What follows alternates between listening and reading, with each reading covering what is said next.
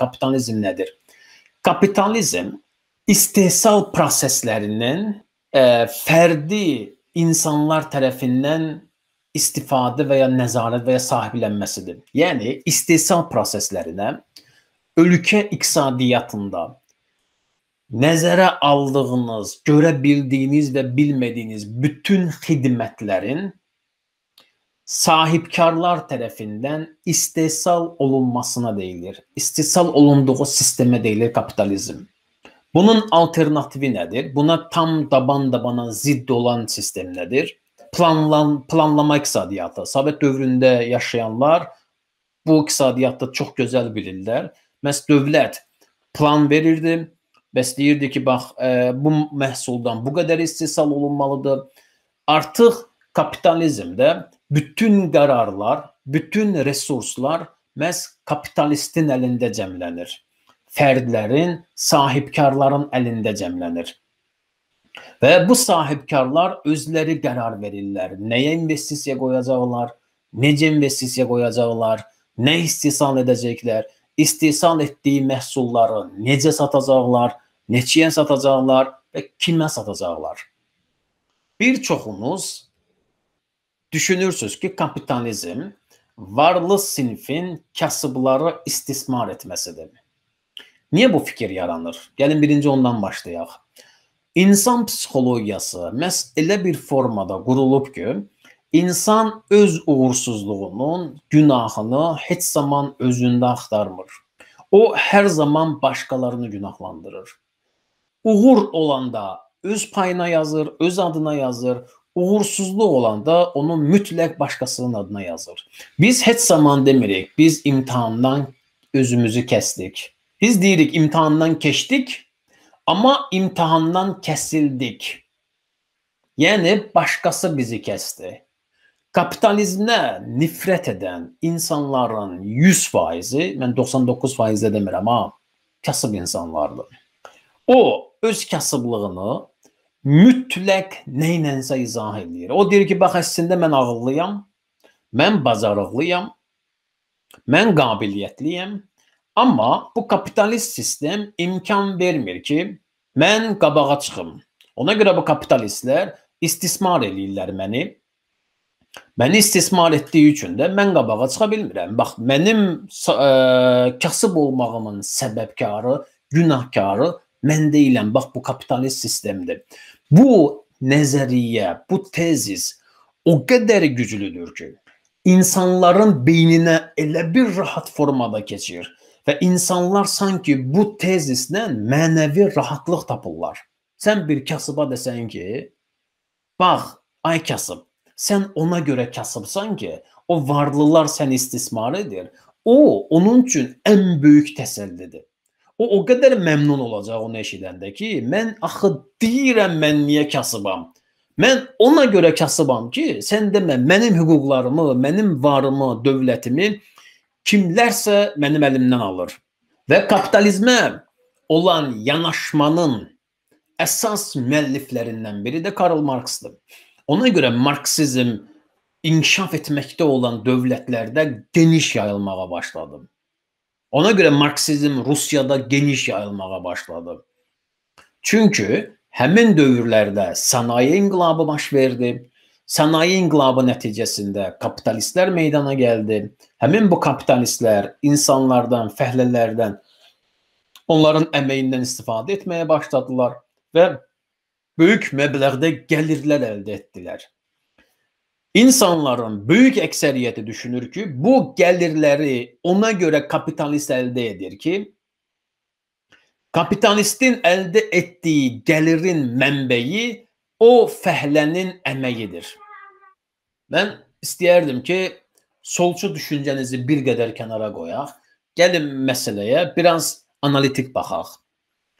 Mən ağlıma bir ideya gəlir mənim ağlıma gəlir ki, mən oturum, bir mühəndis tapım və mən bu mühəndisin vasitəsilə mən bir super kompüter yaradım. O kompüter mənim bütün işlərimi görə bilsin. Mən sahibkaram. Bununla bağlı mən 50 dənə fəhlə tuturam. Deyək ki, mühəndis tuturam. Bu mühəndislər bu sistemi qururlar, sistemi yaradırlar falan və məhsulu hazırlayıb çıxardırlar, bazara çıxartmaq üçün hazırlayırlar. Bu nöqtədən sonra Baxın, məhsul 50 dənə mühəndis məhsulu hazırladı, gəldi təqdim elədi sahibkara ki, bax buna görə sən bizə pul vermişdin. Bu pulun ə, qarşılığında biz bu məhsulu hazırlayıb gətirmişik, təqdim edirik sənə. O nöqtəyə qədər hamımız qəbul edirik ki, sahibkar pul qazanmır. O nöqtəyə qədər sahibkar xərc çəkir, pul itirir. O nöqtədən sonra sahibkar məhsulu bazara çıxardır. Və sahibkarın, kapitalistin gəliri başlayır o nöqtədən sonra. Gəlirin gəlməsinə səbəb nədir? Sual bundan ibarətdir.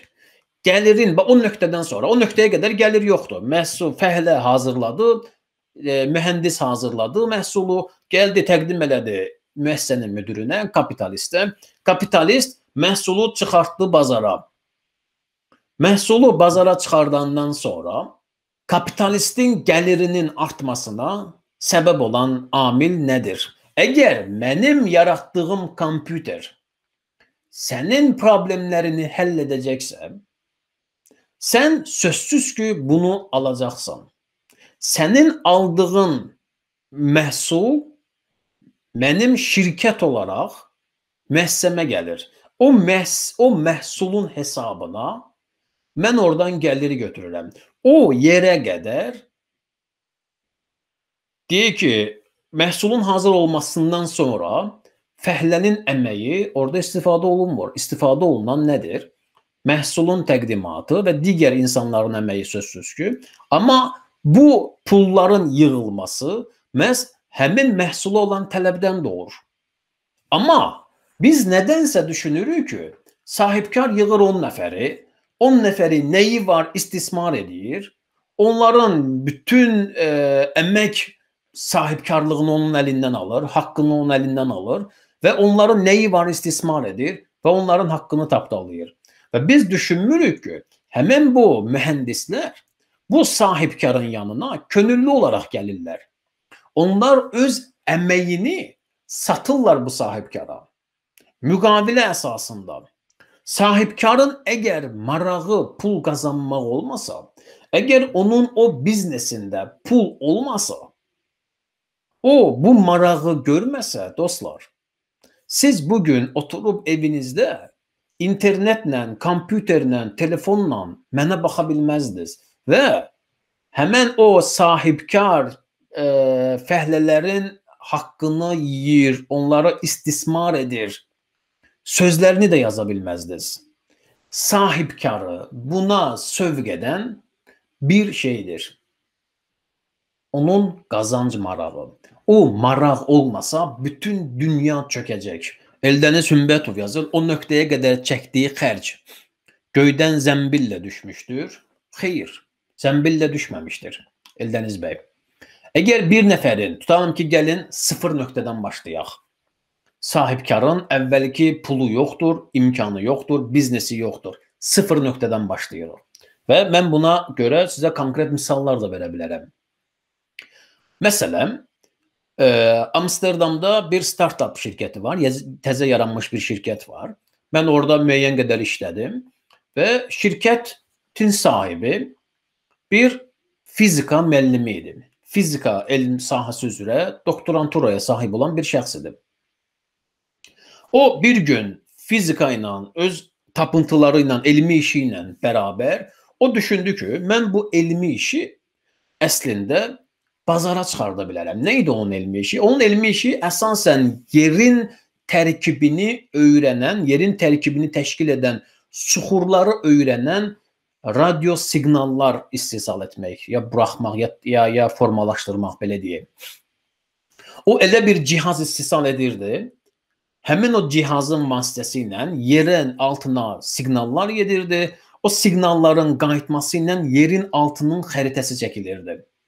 Suxurların xəritəsi çəkilirdi. Və o düşündü ki, mən bundan istifadə etsəm, Mən yerin altında olan təbii sərvətlərin xəritəsini yarada bilərəm. Adamın heç bir pulu yoxdur. Adam doktorantura oxuyur. Maksimum aldığı pul da 2300 avrodur dövlətdən. Nə edir bu adam? Adam götürür, bunu layihələşdirir. Layihələşdirəndən sonra gəlir bankın qapısını döyür. Deyir ki, bax, mənim belə bir ideyam var.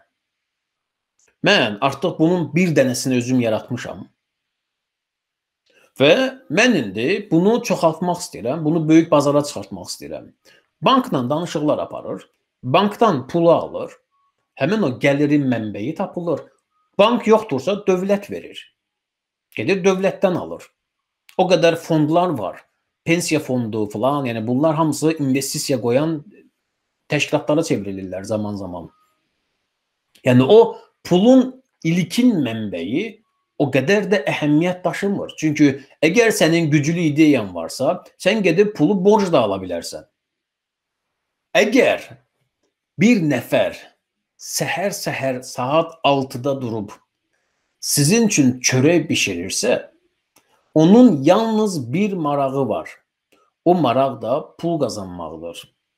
Əgər bir nəfər gedib səhər saat 5-də açılan çörək mağazasında çörək bişirən işləyirsə, onun bir marağı var, pul qazanmaq. Əgər bu maraq olmasa, iqtisadiyyat çökəcək. Kapitalizm insanın xarakter üzərində qurulub.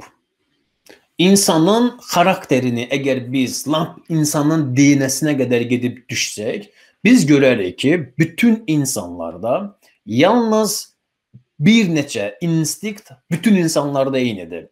Ən birinci nədir? İnsanlar egoistdir. Öz mənfəətini düşünür. Öz mənfəətini maksimallaşdırmaq istəyir. Bütün insanlar mənfəət sadəcə fərqlidir. Adam var, onun üçün mənfəət puldur, adam var onun üçün mənfəət hörmətdir, adam var onun üçün mənfəət nə bilim fərqli şeylərdir. Bütün insanlarda bu budur. İnsan egoistdir, öz mənfəətini maksimal maksim ə, e, maksimallaşdırmaq istəyir. İkinci instinkt nədir? İnsanlar sağ qalmağa çalışırlar. Bütün sistemlərdə, dünyanın hər yerində bütün insanları birləşdirən xüsusiyyət məhz bundan ibarətdir. Hər kəs bu həyatda sağ qalmağa çalışır. Baxın, kapitalizm bunun üzərində qurulduğu üçün dağıla bilmir.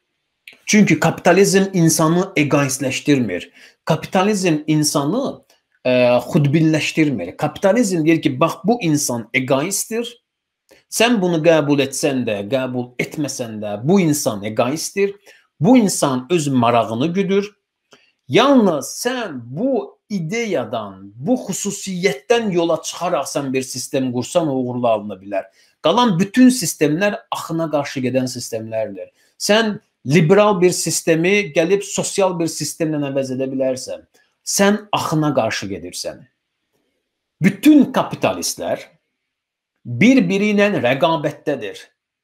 Bu gün sizin həyatınız əgər 180 dərəcə dəyişibsə, bu gün əgər siz A nöqtəsindən B nöqtəsinə avtobusla gedirsinizsə, A nöqtəsindən B nöqtəsinə metro ilə gedirsinizsə, at arabası ilə deyil, ayaqla deyil, nəqliyyat vasitəsi ilə gedirsinizsə, bu kapitalistlərə görədir. Bu gün əgər siz An ölkəsindən B ölkəsinə təyyarə ilə uçub gedə bilirsinizsə, bu kapitalistlərə görədir. Bu gün əgər siz A nöqtəsindən qalıb B nöqtəsində baş verən bir hadisə ilə anında xəbərdar olursunuzsa, bu kapitalistlərə görədir.